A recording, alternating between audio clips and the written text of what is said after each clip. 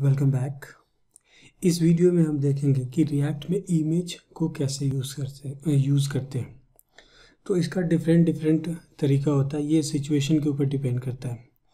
For example मान लो कि अगर इमेज जो है वो एपीआई के थ्रू आ रहा है, ठीक है? तो जैसे कि हमारा ये प्रोडक्ट की टाइटल और प्राइस आ रहे हैं तो इसी तरीके से एपीआई के थ्रू मान लो कि इमेज का जो है यूआरएल आ रहा है। तो इस केस में हम इसको कैसे डिस्प्ले करेंगे तो पहले हम इसको देखते हैं, बाकी फिर एक दो और ऑप्शन है, वो भी मैं आपको बताऊँगा। ठीक है तो अभी क्या है कि ये जो डेटा आ रहा है, ये हमारा क्या आ रहा है? स्टैटिक है बट ऐसे एपीआई आ रहा। है ठीक है तो ये कहाँ पे आ रहा है? ये कॉन्टेक्स्ट एपीआई के थ्रू आ रहा है। यानी कि यहाँ पे ये डेटा जो है यहाँ पे ये डेटा ऐड हो रहा है स्टैटिक तो यहाँ पे जब ये एपीआई के थ्रू आएगा तो इसी तरीके से जो है ये डेटा आपका एज ए ऑब्जेक्ट डेटा आएगा। ठीक है तो जैसे टाइटल है टाइटल की वैल्यू आ रही प्राइस है, उस तरीके प्राइस की वैल्यू आ रही तो उसी तरीके से आपका वो जो डेटा आएगा। ठीक है तो फॉर एग्जांपल मान लो कि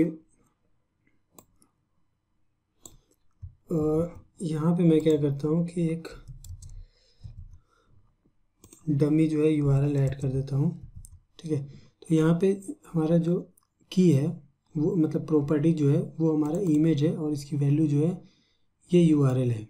ठीक है तो इस तरीके से आपका जो है यूआरएल बन करके आएगा एपीआई में इमेज का। एग्जैक्टली exactly इस तरीके से नहीं होगा बट क्योंकि ये तो डेमो है बट टाइप उसका यही होगा, यानी कि पाथ जो है वो इसी तरीके से बन करके आएगा। यानी कि यूआरएल होगा, और इमेज का जो भी नाम वगैरह है वो होगा, और जो भी डोमेन आपका जहाँ से एपीआई आ रहा होगा, उसका जो डोमेन होगा वो आएगा। ठीक है? तो यहाँ पे मैंने एग्ज़ाम्पल के लिए ऐड किया है। ये अन अन स्प्लैश का यूआरएल है। ये क्या करता है? रैंडम इमेज जो है वो जनरेट करता है।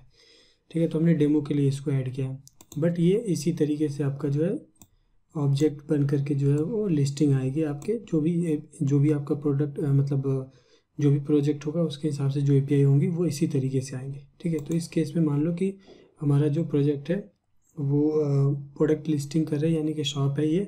ठीक है तो इसमें जो डेटा हमारा आ रहा है, वो प्रोडक्ट आ रहा है ए के थ्रू ठीक है तो अब हमें इस इमेज को क्या करना है कि डिस्प्ले करना है।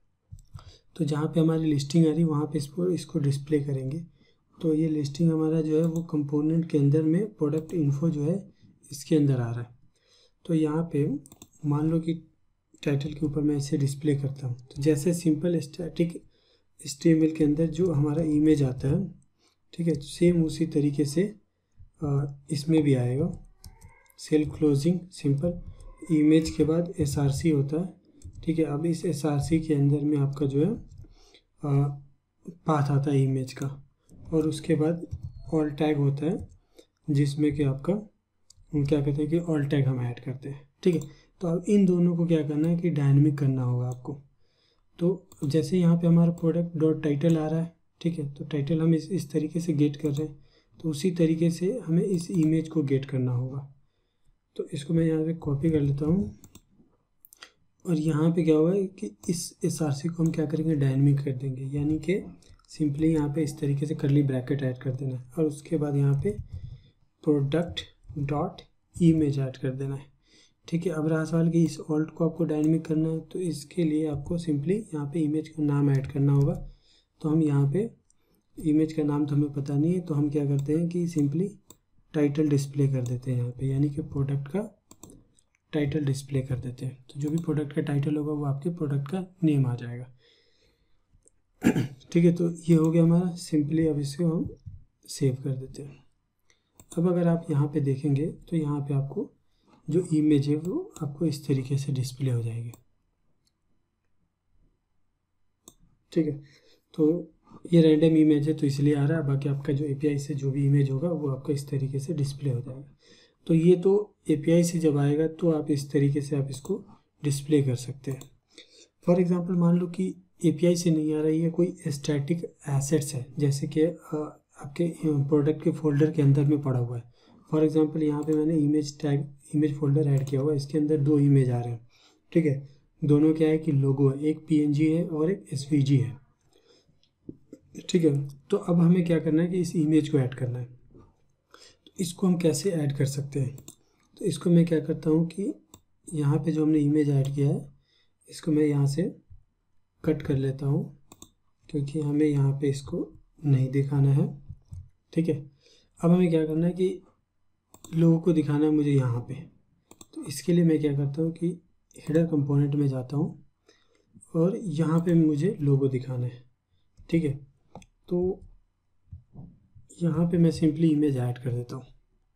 ठीक है? और ऑल टैग जो है यहाँ पे मैं क्या करता हूँ कि हटा देता हूँ क्योंकि यहाँ पे हमारे पास प्रोडक्ट अवेलेबल नहीं है। ठीक है? तो ये इसको हम डायनमिक करेंगे। डायनमिक नहीं करेंगे मतलब स्टैटिक यहाँ पे हमारा जो नेम है, वो हम सिंपली इसको यहाँ पे इस तरीके से हम ऐड कर सकते हैं। ओके तो ऑल्ट में तो ये हमारा हो गया बट एसआरसी में क्या होगा? तो एस आर सी में क्या है कि प्रोडक्ट इमेज भी नहीं है, हमारा यहाँ पे पाथ डालना है जो हमारा इमेज आएगा। तो हमें क्या करना है कि इसको हमें कॉल करना है, इस पीएनजी फ़ाइल को, यानी कि लोगो डॉट पीएनजी को। तो इसके लिए सिंपली हम क्या कर सकते हैं कि यहाँ पे इंपोर्ट फ़ाइल का जो भी नाम है, उस उस हिसाब से एक नाम रख लेते हैं। तो इसको एज ए लोगो रख लेते हैं और इसका पाथ जो है वो हो जाएगा from dot dot slash image folder slash slash logo dot P हो जाएगा। ठीक है? तो ये हमारा इंपोर्ट हो गया। अब सिंपली इस लोगो जिस नाम से हमने मतलब इंपोर्ट किया, उसको सिंपली हम यहाँ से कॉपी करके यहाँ पे हम ऐड कर देते हैं। ठीक है? बस, इतना हमें करना है। अब इसे मैं सेव कर देता हूँ। अब आप यहाँ पे देख सकते हैं कि हेडर में ये इस तरीके से डिस्प्ले हो रहा है बट ये अजीब लग रहा है क्योंकि बहुत साइज़ में बहुत बड़ा है। तो इसका साइज़ आपको अगर आप छोटा करना है तो जैसे इमेज में आप क्लास ऐड करते हैं क्लास नेम ऐड करके उस तरीके से आप यहाँ पे कोई क्लास नेम ऐड करके इसके अंदर डिफाइन कर सकते हैं। जो भी आपका क्लास का नेम है फॉर एग्ज़ाम्पल मान लो कि मेन लोगो या फिर लोगो कुछ इस तरीके से आप ऐड कर सकते हैं। या फिर सिंपली आप यहाँ पे इसका साइज़ डिफाइन कर सकते हैं विद का यूज़ करके। इस विद यूज़ कर लिया हमने। यहाँ पे मैं ट्वेंटी ऐड कर देता हूँ। ठीक है? अब क्या ये, यहाँ पे ये डिस्प्ले हो रहा है।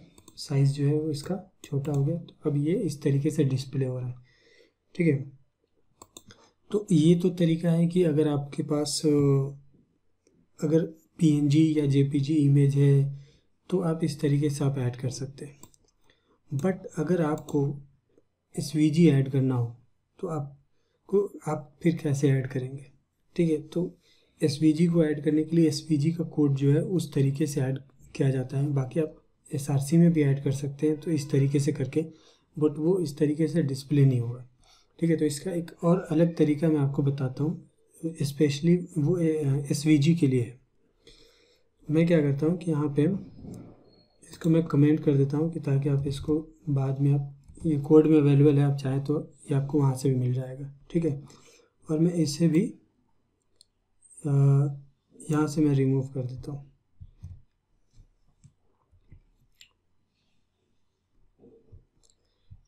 ठीक है? तो अब हमारे ये क्या है कि जैसे पहले की तरह था, वैसे ही हो गया ये। ठीक है, अब हमें क्या करना है कि इस एस को इमेज को यूज़ करना है। इसके लिए सिंपली क्या करना है आपको, जैसे हमने यहाँ पे यूज़ किया था, सेम इसी तरीके से हम इसको इंपोर्ट कर सकते हैं, ठीक है? बट इसमें क्या करना होगा आपको कि ये जो हम इंपोर्ट कर रहे हैं लोगो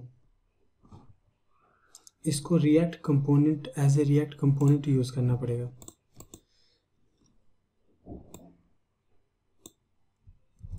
ठीक है?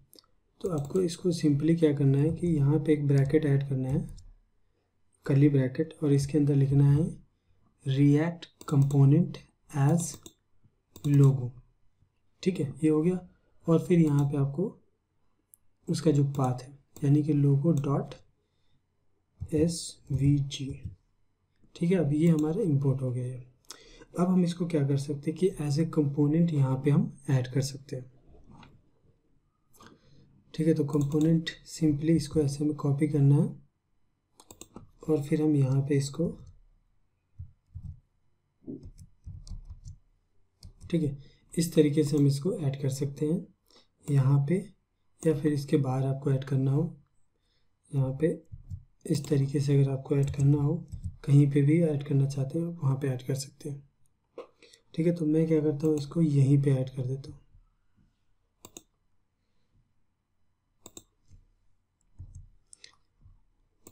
ठीक है, अब इसे सेव कर दीजिए। अब आप यहाँ पे देख सकते हैं कि इमेज जो है वो हमारा आ रहा था, आ रहा है मतलब बट साइज़ इसका काफ़ी है तो आप इसको भी आप छोटा कर सकते हैं। जैसे हमने इमेज टैग में यूज़ किया था तो सिंपली यहाँ पे आप विद ऐड करके,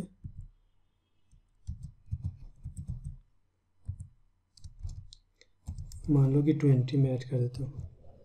ठीक है तो ये ऐड हो जाएगा आपका। तो ये इस तरीके से आपका साइज़ आ जाएगा और यहाँ पे लोगो आ जाएगा।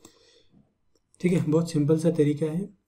इस तरीके से आपको जो है, आप यूज़ कर सकते हैं। जहाँ भी मर्ज़ी हो, वहाँ पे भी आप एस हो या पीएनजी हो या जेपीजी हो, जो भी हो, आप इसको अलग अलग तरीके से यूज़ कर सकते हैं। या फिर अगर एपीआई के थ्रू आ रहा हो तो उसका भी तरीका मैंने आपको बताया। और अगर पीएनजी हो तो इस तरीके से इमेज का इमेज में एस को यूज़ करके भी कर सकते हैं। या फिर अगर आपका एसवीजी है तो उसको आप इस तरीके से यूज़ कर सकते हैं, ठीक है? तो अगर ये जैसे आपका एसआरसी है तो आप जब ब्राउज़र पे जाएँगे तो ये आपको कुछ इस तरीके से डिस्प्ले होगा। इस तरीके से डिस्प्ले होगा, जैसे कि एसवीजी इमेज जो है, वो हम ऐड करते हैं, ठीक है? तो इस तरीके से डिस्प्ले होगा आपका। अगर आप इसको इमेज टैग के अंदर मतलब इमेज के अंदर सोर्स के अंदर अगर आपने इसको कॉल किया होता तो ये इस तरीके से एस टैग नहीं होता। ये इमेज के अंदर में सिंपली जैसे पाथ होता है, उस तरीके से ही आता। है तो ये फ़र्क है आपको इस तरीके से अगर कॉल कराना हो तो आपको यहाँ पे एज ए कंपोनेंट यूज़ करना पड़ेगा और इमेज के थ्रू कॉल कराना पड़ेगा। तो इस तरीके से आपको इंपोर्ट करा के एस आर सी टैग के अंदर में ऐड कराना पड़ेगा। ठीक है? तो ये था हमारा इमेज कि इमेज को हम कैसे यूज़ करते हैं रिएक्ट के अंदर में। आई होप कि चीज़ें जो है आपको समझ में आई होगी। तो इस वीडियो के लिए इतना ही। मिलता हूँ मैं आपको नेक्स्ट वीडियो में। तब तक के लिए वीडियो को आप लाइक करें कमेंट करें शेयर करें और चैनल पे नए हैं तो चैनल को सब्सक्राइब ज़रूर कर लें।